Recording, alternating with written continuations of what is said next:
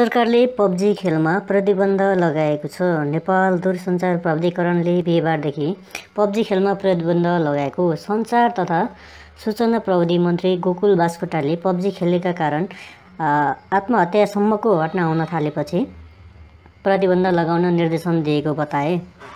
प्राधिकरणका प्रवक्ता मिनबहादुर आचार्यले पब्जी खेलमा प्रतिबन्ध लगाएको पुष्टि गरे पब्जीका कारण विभिन्न खालका समस्या बढेको गुनासो आएपछि प्रतिबन्ध लगाएका थिए।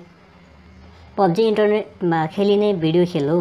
यो अनलाइन खेलको उत्पादन दक्षिण कोरियाली भिडियो गेम कम्पनी ब्लुल माताहरूले पब्जी गेमको उत्पादन गरेको। पब्जी गेमले आजभोलिका युवाहरूमा धेरै एडिक्ट बनाउने र त्यस्ता खालका गेमहरू खेलिसकेपछि एकहोरी नै भएको कारण यो खेल नेपालमा पनि प्रतिबन्ध लगाउ लगाउनका लागि सरकारले कदम चालेको हो।